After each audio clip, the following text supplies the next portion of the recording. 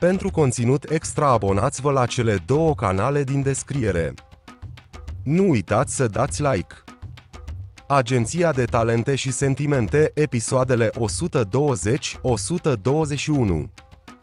Vestea că Bariș a început să lucreze cu cei da creează un efect de bombă asupra agenției Ego.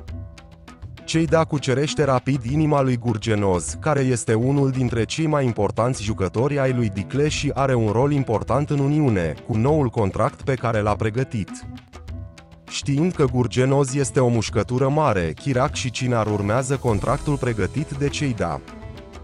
Dicle, care a început să lucreze ca director de casting în filmul prietenei ei de la universitate, de data aceasta îi revine agenției Ego ca director de casting. Pe de altă parte, Peride dă peste o oportunitate de afaceri complet diferită.